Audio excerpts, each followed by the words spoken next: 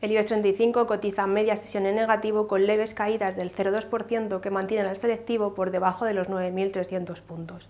Este jueves los resultados empresariales continúan. En esta ocasión el sector bancario es el que vuelve a mover la sesión después de que tanto BBVA como CaixaBank hayan recortado su beneficio en los nueve primeros meses del año. Sin embargo, sus acciones están reaccionando de manera diferente, ya que BBVA se deja a esta hora alrededor de un 1%, mientras que CaixaBank sube más de un 2%. También han presentado una caída en sus beneficios Resol y Ageo Mafre. Precisamente la aseguradora es el valor más bajista en el IBEX hasta ahora, al caer más de un 5%, mientras que en el lado opuesto se coloca Enagas, que avanza más de un 6 ante la posibilidad de que el recorte a la retribución del gas de la CNMC finalmente se reduzca a la mitad.